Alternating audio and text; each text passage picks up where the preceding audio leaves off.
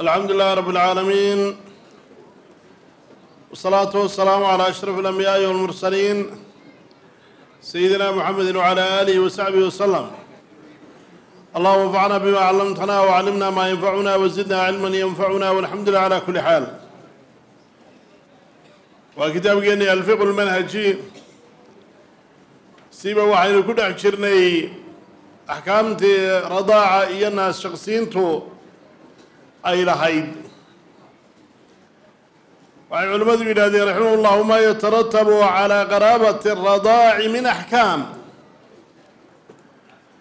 wixii ka ratibmayey ama ka dhalanaya qaraabada naas wada jaqidda ee axkaam ahayd ama wixii axkaamaya ka ratibmaysay naas shaqsiinta marka haweeney aan dhalini ilmihii ay naaska jaqsiiso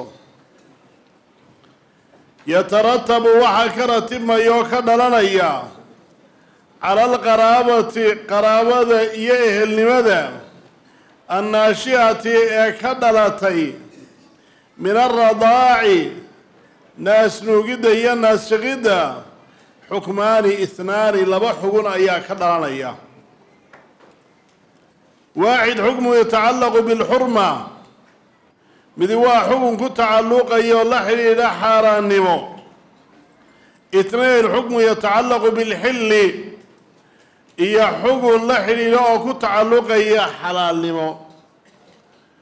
Ama alxurmatu xaaraannimadu fatatacallaqu binnikaaxi guurka ayay ku tacalluqdaay ee la xidhiidhaa wa ama alxillu xalaalnimadu fayatacallaqu bilkhalwati wannadar waxay ku tacalluqdaa isla gaar noqosho iyo eegidda waxay leeyihiin culimmadu waxaa ka dhalanaya qaraabada aan soo tilmaannay ee ka dhalanaysa naasshaqidda laba xugun ayaa ka dhalanaya mid waa xugun xaaraannimo la xidhiidha midina waa xugun xalaalayn la xidhiidha. Xukunka xaaraannimada la xidhiidha waa guurkii oo labada qof ee dee qaraabada naas wada jaqidaahi ay dhexdooda timaado inay isguursaani waa ka xaaraan. Xugunna waa xalaalnimo oo labadaa qof ee qaraabada ka dhalatay naas wada jaqiddu ay ka dhaxayso dee inay isku gaar noqdaan oo inankii inantii isku gaar noqdaan inay dadka maxaarimtaahi cawradooda ama jidhkooda intii ay iska eegi karayeen inay iska eegaanna xalaal ayay noqonaysaa. Waxay dhaheen markaa culimmadu faidaa nasha-ad marka ay dhalato qaraabatu radaaci bayna tarafayni qaraabada naasshaqiddu laba daraf dhexdood marka ay dhalatay ay curatay timaado kaana lihada alqaraaba qaraabadaa waxaa u sugnaanaya min ata'hiiri xagga raadaynta calaa xurmati nikaaxi guurka xaaraannimadiisa ay raadiso. Mithlu maa kii oo kale liqaraabati nasabi qaraabada nasabka u sugnaaday. Wayatabaracu canha waxa ka farcamaya ama ka sii dhambalmaya kullu maa yatafaracu waxa liyaaliyo wixii ka dhalanaya ka farcisamaya ka sii baxayay can qaraabati nasabi qaraabada nasabka ee min al aathaari raadadkii fa ummuka hooyadaa weynacalad haba sarraysee wa bintuka inantaadu wain safarad haba hoosayso inantaada inanteediiba ha noqotee wa ukhtuka liabaweyg inantaa xagga abiya xagga hooyaba ka walaalatihiin aw liaxadihimaa ama xagga ama aba xagga hooyo. Wa cammatuka edadaa weyn bacudad haba fogaatee oo xataa awowgaa dee walaashiiba ha ahaato oo si ha u fogaatee wa bintu lakhi liabaweyni walaalkii ah xagga hooye xagga abbaa ka walaalideen inantuu dhalay. Aw liaxadihimaa ama midunkaa ka walaalahaydeen xagga abba ama xagga hooye inantuu dhalay. Wa bintu lukhti liabaweyni inantaa xagga hooye xagga abba ka walaalahaydeen inantay dhashay. Aw liaxadihimaa ama inantaa midun ka walalahaydeen inantay dhashay. Muxaramaatun calayka. Mid lagaa xaaraantinimay weeye bisababi hadihi alqaraaba. Qaraabadaa sababteeda allatii taasoo jaa-ad ka timi can ariiqi nasabi xagga nasabka iyo wada dhalashada. Faidaa tawalad fain tawaladad hadihi alqaraaba. Qaraabadani hadday ka dhalato can dariiqi radaaci xagga nuugmada tarataba calayha aydan ayana waxaa ka ratibmaya altaxriimu duuna ayi farqin baynahumaa ayadoo wax faraqiya wax u dhexeeya wax lagu kala saaraya midnaba aanay jirin. Waxay leeyihiin culimmadu haddii qaraabo ku timi radaac iyo naas wada jiqid ay laba daraf dhexdooda ay ka curato ama ay ka dhalato qaraabadaasi waxay yeelanaysaa ta'hiir iyo raad bay xaaraantinimaynta guurka dhexdooda ay ku yeelanaysaa. La mida tii ay qaraabada nasabku yeelanaysay oo kale. Waxaa la yaaliya wixii qaraabada nasabka ka ratibmayey ee raadadaha ayaa qaraabada naas wada jiqidana ka ratibmaya oo ka dhalanaya. Masalan hooyadaa dee haba sarrayso oo hooyadaa hooyadeed hooyadeedba ha ahaato inantaadu haba hoosayso inantaadu inantay dhashay tay sii dhashay ha ahaato. Walaasha ama labada hooye abbaa ka wala lahataan ama abbaa ka wala lahataan ama hooyaha ka wala lahataan eddada haba fogaato dee ama adiga eddada ama aabbaha eddadii ama yacni awoga eddadii midkay doontaba ha ahaato. Walaalkaaga xagga hooye xagga aabbaha ka walaalatiin ama xagga ama ama xagga hooyo inantii uu dhalay inantii ay dhashay walaashii ah hooye aabba wadaagayseen ama aabban wadaagayseen ama hooyan wadaagayseen dhammaantood xaaraan bay kaa yihiin. Qaraabada sababteeda ku timi xagga nasabka ayay xaaraan kaaga noqdeen. Haddii qaraabadaasoo kale xagga ridaaca iyo naas jiqidda iyo naas wadanuugidda ay ku timaadana waxa ka ratibmaya dumarkaasi inay ka xaaraantinimoobaan iyagoon wax farqiho u dhaxeeya aanay jirin. Waqad madaa bayaanu daalika kaa caddayntiisuna way inoo soo horumartay. Falaa nuciiduhu kaa soo celin mayno ayaa dee mid mid bay isu dul taageen. Wa tatafaracu waxaa kaloo ka farcamaysa can qaraabati nasabi qaraabada nasabka waxaa ka radimaysa xurmatu lmusaahara xurmada xididnimada. Kamaa huwa macluumun sida markaa la ogyahay fa ummu sawjati nasaban. Xaaskaaga hooyadeeda xagga nasabka uga hooyadaa hee dhashay. Taxrumu calaa sihriha. Kii ay sodohda u ahaydee inanteeda qabay alladii kaasoo huwa sawju ibnatiha inanteeda ninkeedii xaaraan ayay ka noqonaysaa. Wakadalika bintu zawjati nasaban. Waxaa la mida inantii ay xaaskaagu dhashay ee nasab ahaanay ku dhashay. Wa sawjatu labi nasaban aabbihii xagga nasabka xaaskiisii wa sawjatu libni nasaban inankii aada nasab ahaanta ku dhashay xaaskiisii ayaguna waa lamida waa ka xaaraan. Kulluhunna dhammaantood yaxrumna cala zawji ninka waa ka xaaraan fi lmithaali alawali mithaalka hore. Mithaalka hore waa bintu zawjati nasaban wa cala libni fi lmithaali athani wa cala labi fi lmithaali athalith wasababu huwa almusaahara. Sababtuna waa xididnimada faidaa nashأat hadihi alqaraabatu nafsuha min radaacin markay ka dhalato awrahat alxukma daatahu xukunka lafdiisii bay dhaxashiinaysaa binisbati lilmusaahara marka loo eego xagga xididnimada ey fa ummu sawjati min ridaacin hooyadii markaa xaaskaaga xagga nuugmada ugu hooyo ahayd taxrumu calaa zawji waa ka xaaraan wa bintuhaa min radaacin inanteedii xagga nuugmadu taxrumu calayheedna waa ka xaaraan. Wa sawjatu abiika min ridaac aabbahaagii xagga nuugmada xaaskiisii waa kaa xaaraan. Wa sawjatu ibnika min ridaac ilmahaagii xagga nuugmada muxaramataani calayka waa laba lagaa xaaraantinimeeyey wa sababna almusaahara allatii taradabad ee ka dhalatay calaa qaraabati radaaci qaraabada naas wada jaqidda waclam waxaanaad ogaataa ana daliila dalika kulli. Kaa dhammaantii daliilkiis waxa weeye huwa qowlu nabiyi sala allahu alay slm asaabiqi yaxrumu min alridaaci waxaa ka xaaraantinimoobaya maa yaxrum min annasabi. Nasabka xaggiisa wixii ka xaaraantinimoobayay rawaahu lbukhaariy wa muslim baa wariyey can bni cabaasin radia allahu canhuma waxay leeyihiin culimmadu qaraabada nasabka waxaa ka farcanta oo ka dhalata. Wa dumar iyaguna ku xaaraantinimoobo musaaharo iyo xididnimo. Sida aynu wada ognahay aynu dee ku soo marnay dumarkii guurkoodu xaaraanta ahaba aynu ku soo marnay. Masalan xaaskaaga hooyadeeda xagga nasabka ugu hooyadaa hee dhashay. Waxay ka xaaraan noqonaysaa dee inanka ay u sodohda tahay ee inanteeda qaba waa ka xaaraan.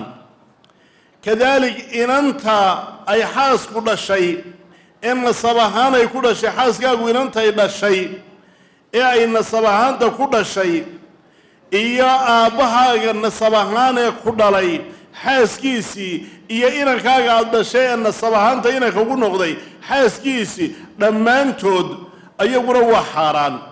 Oo bintu zawja xaaskaaga inanteedu waxay ka xaaraan noqonaysaa ninkii fi lmithaal alawal mithaalka hore. Bintu zawjati nasaban wey mithaalka hore. Bintu zawjati nasaban dee waxay ka xaaraan noqonaysaa inantaasi zawjkii zawjada qabay. Wa cala libni fi lmithaali athaani mithaalka labaadde waa zawjatu labi nasaban. Waa zawjadii aabbaha xagga nasab ahaan. Dee inankiisii xaaraan bay ka noqonaysaa aabihiisii nasabka xaasku qabay cala alabi fi lmithaali athalith mithaalka saddexaad zawjatu libni nasaban. Isna kaa aabihii waa ka xaaraan markaa inanka uu dhalay ee nasab ahaan uu ku dhalay xaaskiisi waa ka xaaraan. Sababtuna waxa weeye waa musaaharadaas iyo xididnimada. Haddaba qaraabada lafdeedu marka ay ka dhalato radaac iyo naas jaqid markay ka dhalato xukunkaa lafdiisa ayay dhaxal siinaysaa marka xagga xididnimada loo eego. Tiibay markaa inoo sii caddeeyeenoo waxay yidhaahdeen xaaskaaga hooyadeed xagga nuugmada ugu hooyaha naaska jaqsiisay. Ninkan qaba inanta waa ka xaaraan. Xaaska aada qabto hooyadeedii naaska jaqsiisay. Ee hooyanimada xagga ridaaca ugu waa ka xaaraan xaaska aada qabto inanta ay dhashay inanta ay naaska jaqsiisay iyaduna waa ka xaaraan. Aabbahaaga aada caanihii uu irmaaneeyey isagoo aada jaqday xaaskiisi waa ka xaaraan. Inankaaga aada ku dhashay xagga nuugmada ee bimacnaa caanahaaga nuugay xaaskiisina iyaduna waa kaa xaaraan. Intaa nasabka ku xaaraan noqotay unbaa nuugmadiina ku xaaraan noqonaysa sababtuna waa musaaharada iyo xididnimadaa ka dhalatay qaraabada naas wada jaqidda daliilkeeduna waxa weeye waa qowlka nabigu sala allahu calayhi wasalam uu yidhi radaaca. Waxaa ku xaaraanta yaxrumu min alradaaci ma yaxrum min annasab. Ridaaca iyo nugmada wax xaggiisa ku xaaraantinimooba wixii nasabka ku xaaraantinimoobayay hada ma yatacalaqu biaahari taxriim almutaratibi cala qaraabati ridaac waxay yidhahdeen culimmadu kaasi waa wixii la xidhiidhay aharta iyo raadka xaaraannimo ee ka dhalanaya qaraabada naas wada jaqidda amaa maa yatacallaqu biaahari alxilli waxa isagu la xidhiidha ee ku tacalluqa aharta iyo raadka xalaalnimada fa bayaanu daalika kaa caddayntiisu waxa weeye anna kulla maa yaxillu wax liyaaliyo wixii xalaal noqonayay baynaka adiga dhexdaada iyo wa bayna qariibatin laka nasaban iyo haweenay qaraabo nasab kuugu ah oo miman kuwa ka ahaaday madaa dikruna xuskoodu uu soo horomaray yaxillu baynaka xalaal bay noqonayaan adiga dhexdaadayo wa bayna man baynaka wa baynaha ridaacun ciddii adiga iyo ayada ridaac u dhexeeyeyna taasina xalaal bay noqon. Fa yaxillu baynahuma annadar eegmadii ayaa xalaaltinimoobaysa kamaa yaxillu dalika bayna alakhi walukhti min annasab. Si u xalaaloobayay walaalkii iyo walaashii xagga nasabka. Wa taxilu baynahum baynahuma alkhalwa almuxarama bayna alajnabiyeyni khalwadii iyo isla gaar noqoshadii ayaa xalaaloobaysa xaaraanta ahayd labada qof ee kale ajnabiga wayaxilu lahaa waxau xalaala an tusaafira macahu inay la safarto fowqa halaati layaalin saddex habeen wax ka badan kayra ana hada alxukm xukunkaasi baynayan laa yusawiqu ma meel marinayo nadara alqariibi ridaaca ilayha inuu kii qaraabada ku ahaa nuugmadu haweenadii u eego bishahwatin si shahwiya ay ku jirto ow nadariha ilayhi kadalik ama iyadu saa inay u eegto lianna hada nadar muxaramun xataa bayna aqaaribi nasab xataa kuwii qaraabada nasabkaba waa ku xaaraan walidaalika saa daraaddeed ba faqad kariha mutaakhiru lfuqahaa fuqahada kuwoodii dambe waxay karheen irdaaca almar'ati haweeneyda nuujideeda ligayri tifliha biduuni daruuratin wa xaaja iyadoon daruuro iyo xaaja aana jirin kamaa annahum karihuu siday u naceenba ikhtilaata adukuuri waalinaas isdhexgalka labka iyo dhadiga aladiina kuwaasoo jamaacatum qaraabatu radaac ay kulmisay qaraabada naas wada jaqiddu wadaalika kaasi waa bisababi maa qad yutawasalu bihi waxa lagu gaari karo ilaa shuruurin wa muxaramaatin mukhtalifa sharar iyo yacni waxyaalo la xarantinimeeyo iskhilaafsan kala duwan waa lidacfi lwaasici diini waasicii iyo joojiyihii diiniga ahaa ayaa daciifan walicadami wujuudi lwaasici alfitri. Waxa kaloon jirin oo isna markaa aan jirin. Waasicii iyo joojiyihii isagana fitriga ahaye abuurkaha alladii kaasu yakuunu bayna alqariibi waalqariiba u dhaxeeyey labadii markaa qaraabada isu ahaa. Waxay leeyihiin culimmadu waxyaalaha la xidhiidhaa xagga aharta iyo raadka xalaalnimada. Caddaynteedu waxa weeye bay yidhaahdeen wax alliyaaliya wixii xalaal noqonayay adiga iyo haweenay a qaraabo ku tihiin nasab ahaan oo dumarkaa aynu soo marnay ah. Hadday tahay walaasha hadday tahay hooyada hadday tahay markaa eddada hadday tahay habaryarta. Dumarka qaraabada nasabka ku ah. Wax alliyaaliye wixii dhexdiina xalaal ahaa ayaa xalaal noqonaya adiga iyo haweenayda qaraabo ridaaciya waa naas wada jaqidii ay idin dhexayso oo masalan dee inay is-eegaan labadii qof ee dee inankii iyo inantii inantii markaa inta ay shaqaynayso ama yani shaaficiyadu qowlkooda markaa raajixa maa bayna sura wa rugba yacni waa eegi karaa shaawa waxaan ahayn wuu eegi karaa inantiina waa u eegi kartaa. Ama yacni marka ay shaqaynayaan hablihii dee waxaa iska muuqanaya qoortooda iyo gacmahooda iyo lugahooda iyo dee kala xijaaban maayaan dadkii marka qaraabada nasabku ay ka dhexaysay oo kala xijaaban maayaan.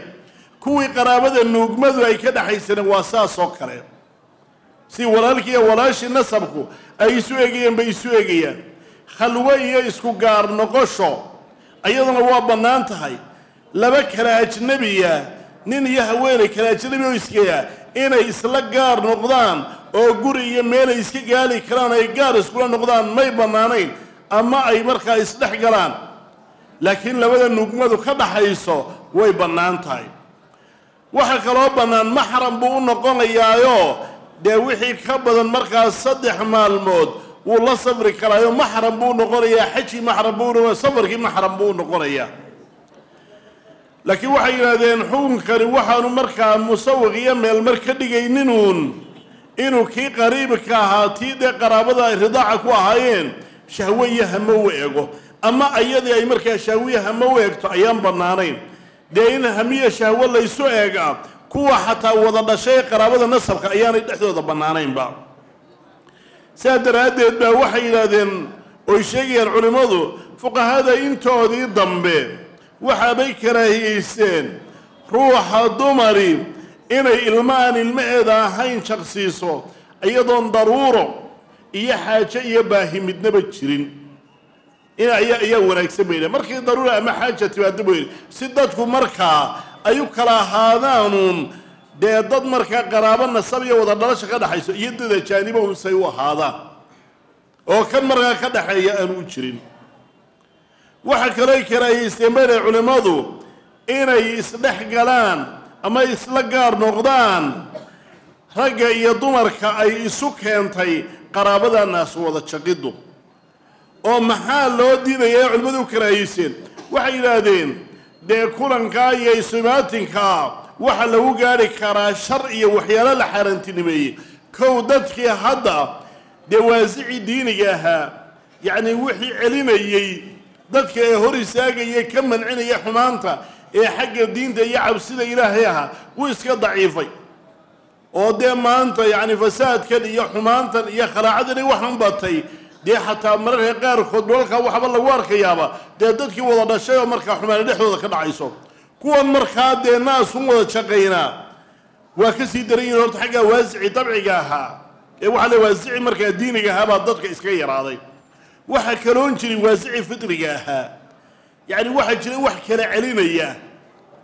Labadan qof ee dee ama walaalaha ah ama isu edda ama isu habaryar ah waxaa jira wax abuurahoo kala celinayo aanu midkoodna midka kale u hamoonaynin ama aanu wax ka dayaynin waasica fitriga ah ee ilaahay ku abuuray dadka qaraabadaa kala celinayaana halkan markay naasu wada jaqaynkaasina ma jiro.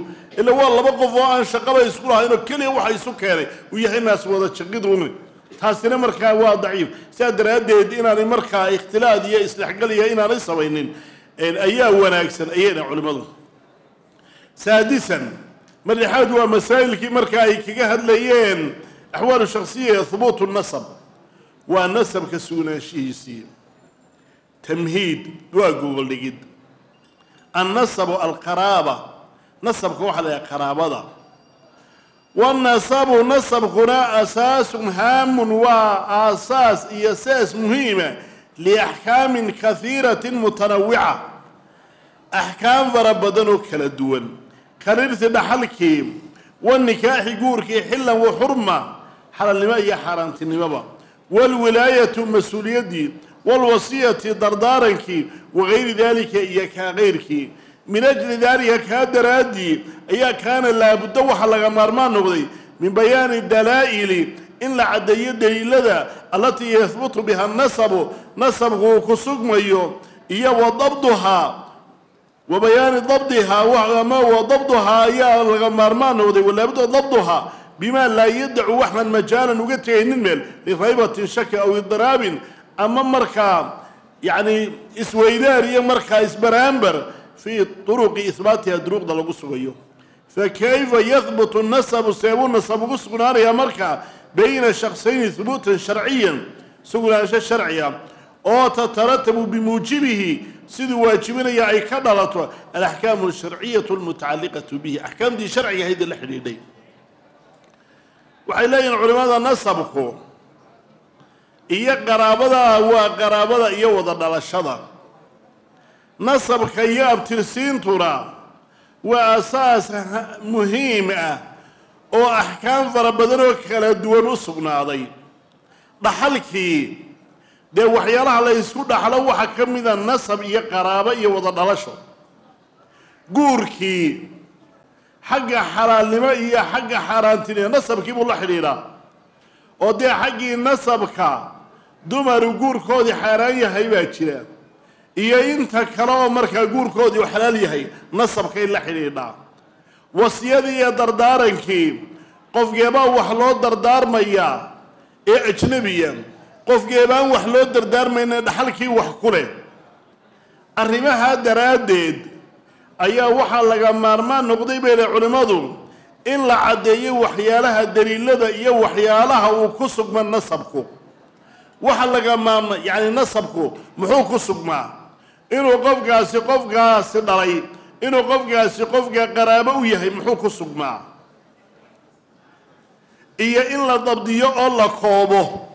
Waxyaalaha markaa dalaa-isha iyo waxyaalaha lagu sugayo in la koobo si aan markaa raybo iyo shaki aanu majaal u yeelanin ama aan la ysugu khilaafin oo aan idraab iyo isbaraambar iyo iska horimaatan aanu ugu imanin sida loo sugayo. Haddaba waxay yidhahdeen culimmadu sideebaa nasabku u sugmaa laba shaksi dhexdood? Sugnaansho sharci ah oo ay ka ratibanto siduu keensanayo. Alaxkaamu sharciya almutacalliqa bihi axkaamtii sharciga ahaydee la xidhiidhay. Waxay yidhaheen muhbitaatu nasab waxyaalihii nasabka sugayey yahbutu nasabu sharcan. Nasabku sharci ahaan wuxuu ku sugmaa biwaaxidan min almuujibaati ataaliya waxyaalaha waajibiya ee soo socda mid ka mida awalan ashahaada waa markhaati iyo marag fur. Wayushtaradu fi shahaadati waxaa loo shardiyaa rajulaani laba nin oo minman kuwa ka aday tawafarat fiihim ay buuxsantay shuruudu sixati shahaada shuruudda ay markhaatigu ku ansaxdo taxamulan qaadidiyo wa addaan gudidba. Waqad marat bika hadihi shuruudna waxay kugu soo hormartay fi nikaaxi guurkii. Falaa yahbutu nasabu kuma sugno bishahaadati nisaa dumar marag furkood. Walaa bishahaadati rajulin wamra'atayn nin iyo laba dumarana kuma sugmo. Lianna anasaba farcu min anikaax nasabku wuxuu farac ka yahay guurka. Wanikaaxu mima laa yaطalicu calayhi fi lgaalibi ila arijaal guurkuna waa waxyaalaha inta badan rag mooye cid kale aanay ogaanin ay daalacnin. Falaa tuqbalu shahaadatu nnisaa'i fiihi markhaatiga dumarka lama aqbalo. Waxay yidhahdeen nasabku sharci ahaan wuxuu ku sugmaa mid ka mida arrimahan soo socda. Kow waa midda koowaad ee marag fur. Laga marag furo inuu ninkaasi ilmaha dhalay ama ilmahaasi ina hebel yahay cidda laga aqbalaya marag furkuna waa laba nin oo shuruuddii uu markhaatigu ku ansaxaya ama shahaadadu ku ansaxaysay laga helay. Taxamul iyo addaa shuruuddii loo shardinayay taxamul iyo addaba taxamul iyo adda waxaa la yahay taxamulkuna waa markhaatiga markaad qaadayso addaana waa markaad furayso. Shuruuddii loo shardiyaya markhaati qaadida iyo markhaati furiddaba inuu qofkani muslim yahay inuu qaangaadh yahay inuu caqli leeyahay shuruudihii markaa nikaax aynu ku soo marnay ee faraha badnaa ee aynu markaa qoraalkeennina aynu ku tilmaannay ilaa afar iyo toban inay ahaayeen ayaa markaa loo shardinayaa oo shan iyo toban baynu soo tilmaanay inuu islaam yahay inuu qaangaadh yahay inuu caqli leeyahay inuu lab yahay inuu xor yahay inuu caadil yahay maqal iyo arag yacni arrimihii noocaas ahaa ee faraha shan iyo tobanka aynu ku soo sheegnay kuwaas laba nin oo ay shuruuddaasi buuxsantay waa inay marag furaan.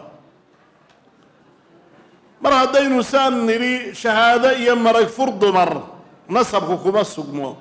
Nin iyo laba haweenaya sida maalku ugu sugmaanna uguma sugmo. Maxaa yeelay nasabku wuxuu farac ka yahay guurka. Guurkana waxa markhaati ka noqda ragga. Raggaa daalacda dumarku inta badan ayagu goobtaa wax lagu meherinayo ma yimaadaan. Markaa markhaati fur dumar lama aqbalo. Athaani aliqraar ka labaad waa qirasho. Wadaalika kaaslee bian yuqira alrajulu ninku waa inuu qiro annahu waalidu zawjin zaydin maalan inuu yahay ninkaa zayd la yidhaha waalidkiisii. Annahu waalidu zaydin maalan inuu yahay zayd waalidkii inuu yahay aw an yuqira zaydu waa inuu qiro biannahu ibnu dalika arajul inuu ninkaa inankiisii yahay. Waxay leeyihiin qodobka labaad ee nasabku ku sugmaa waa qirasho. Waxaana weeye arrintaasi inuu ninbaa wuxuu leeyahay ninkaa hebel la yidhaahdo aniga ayaa dhalay. Ama mid ayaa qiranaya inuu ninkaasi dhalay iqraarka noocaasna wuu ku sugnaa shuruudu sixati liqraar haddaba iqraarka uu leeyahay ilmaha anaa dhalay ama ninkaasaa i dhalay uu leeyahay ee markaa nasabku ku sugmayo shuruud buu leeyahay. Shuruudu sixati liqraar haddaba. Wa inamaa yuctabaru waxaa loo ictibaarinayaa loo qaadanayaa hada alkalaamu min kulli minhumaa hadalkaa labadooda mid kasta ka ahaaday anaa dhalay iyo kanay dhalay oo wa yucaddu iqraaran iqraar lagu tirin. Waxaa mid walba hadalkaasaa loo ictibaarin iqraarna loogu tirin idaa tawafarat fiihi ashruud taaliya. Shuruuddan soo socota marka laga helo. Kow an laa yukadiba hada aliqraaru alxiso waa inaanu beeninaynin iqraarkan iyo qirashadan dee xisiga iyo xawaasa iyo dareenka dadku waa inaanu markaa beeninaynin wadaalika kaasi bian yakuuna waa inay ahaadaan fii sinin de. Yumkinu ay suurtagal tahay an yakuuna hada alibnu inankani min dalika alabi abbaha inuu ka ahaado. Falow kaana fii sinin hadduu yahay laa yutasawaru aan la suuraysanin an yakuuna minhu inuu ka ahaado. Kaan kaana musaawiyan lahu fi sini waa inuu da'dii markaa kula siman yahaybe lam yasixa hada liqraaru ma ansaxayo walam yahbut bihi nasabuna kuma sugmayo walitakdiib alxisi lahu xiskii baa beeninaya waxay leeyihiin qodobka koowaad ama shardiga koowaad ee waa inankaygii iyo waa aabbahay lagu aqbalayo. Waxa shardiga qirashada inaanu xisgiga xawaasa iyo dareemayaashan iyo muuqaalkanis inaanay beeninaynin. Macnaha waa inay yihiin da ay isku dhali karaan oo ilmuhu uu kan aabbihii noqon karo kani aabbihii noqon karo kanna uu kan dhali karo haddii laakiin ay ku sugan yihiin sini iyo da aan suurtagal ahayn inay markaa isdhalaan dee waxa weeyaba waaba dhowriyo toban jiro. Waa islee isdaleegi baa isu leeyahy anaa dhalay iyo maya isagay dhalay. Amaba dee nin weynoo toddobaatan jira bu inan yaroo labaatan lahon shaarubi u soo bixin baa oday cirroobay anaa dhalay. Dee lama dhegaysanaya taa leanna waa la arkaya muuqaalkanaa beeninaya inaanu markaa kani kan dhalin kanna inaanu kan markaa ilmo u ahayn dee xiskaan xawaastanaa beeninaysaba. Takdiib alxislow ayaa beeninaya markaa laga dhegaysan maayo. Xataa yacni dacwadda lagama aqbalo waxyaalaha dee xisku uu diidayo dacwad xataa lagama aqbalo. Iminka hadduu nin saynu shahaadooyin gabadii aynu aynu dacwaadkaba aynu ku gaari doono insha allah. Hadduu nin faqiir ahoo miskiin oon waxba haysanin la yaqaana nin taajir oo la yaqaana yidhaa boqol kun baan ku leehay. Dee loo soo jaro xaajiga u yeera bal hadda ninkan boqolkaas ku yeera lama odhanayo. Waxa laga yaaba boqol dollar ba arag ama ninkan wuxuu sheeganayo aanu aragba markaa laga dhagaysan maayo waxyaale markaa xisig marka horeba beeninayo. Ayaa jira oon markhaatiba u baahnayn. Markaa war been baa sheegaysaan ha u noqonina baa loo dhaya waa laydin edmin doona haddaa waxaa mar damba u noqotaan. Dariska qaybtiisa hore halka inagu joogto wallahu